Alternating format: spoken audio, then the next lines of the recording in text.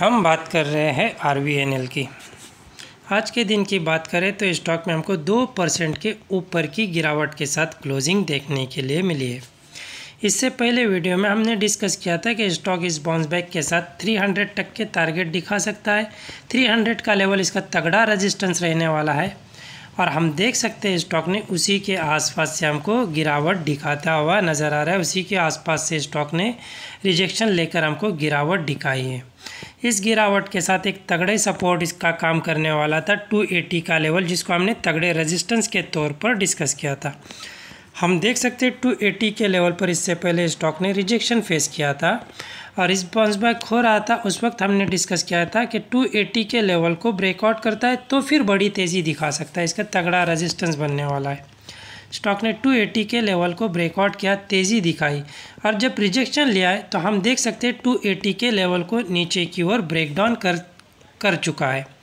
और ब्रेकडाउन के बाद, जो इसका इससे पहले रेजिस्टेंस हुआ करता था 270 का लेवल उसी लेवल पर सपोर्ट लेकर अगेन रिकवरी के साथ स्टॉक ने क्लोजिंग दिखाई है। तो अब यहाँ से बड़ा सेलिंग नहीं आता है। स्टॉक 270 के ऊपर सस्टेन होता है। 270 के ऊपर सस्टेन होता है। तो वैसे कंडीशन में आर और तेज़ी दिखा सकता है।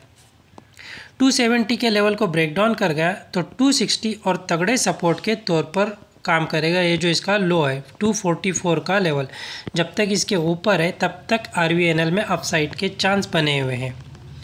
अब अगर स्टॉक बाउंस बैक करता है तो इमीडिएट रेजिस्टेंस का काम करने वाला यही लेवल जहाँ से इससे पहले स्टॉक ने रिजेक्शन फेस किया था। 280 का लेवल तगड़ा रेजिस्टेंस रहने वाला है। इस वक्त फ्रेश बाइंग को अवॉइड करके चलना ठीक रहेगा। हालाँकि ब्रेकआउट के चांस बने हुए चार्ट पैटर्न के अकॉर्डिंग ब्रेकआउट हो सकता है। क्योंकि हम देख सकते हैं स्टॉक एक ट्रेंड लाइन पर काम करता नज़र आ रहा है। जम के बाद स्टॉक सपोर्ट ले रहा है। सपोर्ट कर, लेकर बाउंस बैक हो रहा है। तो अपने रिसेंट हाई को ब्रेकआउट करता नज़र आ रहा है। इस अकॉर्डिंग गिरावट आई है। बाउंस बैक होके हाई ब्रेकआउट दे सकता है। लेकिन थोड़ा सा इंतज़ार करना है। क्योंकि तगड़ा रजिस्टेंस है। इसको ब्रेकआउट करके ऊपर सस्टेन हो जाता है स्टॉक तो अगला टारगेट टू इसको ब्रेकआउट करने का 294 300 का लेवल जहाँ से स्टॉक ने रिजेक्शन लिया, इसका तगड़ा रेजिस्टेंस रहने वाला है। 294 से 300 के बिटवीन थोड़ा सा फ्रेश बाइंग को अवॉइड करके चले। जैसे ही 300 के ब्रेकआउट को लेवल को ब्रेकआउट करेगा, उसके बाद बड़े टारगेट आर दिखा सकता है। फिर 320 और 330 तक के टारगेट आर में हमको देखने के लिए मिल सकते हैं। अगर आप डिमेट अकाउंट ओपन करना चाहते हो तो डिस्क्रिप्शन में दी गई लिंक से कर सकते हो। वीडियो एजुकेशन पर्पज़ के लिए कोई बाय सेल या होल्ड की सलाह नहीं है।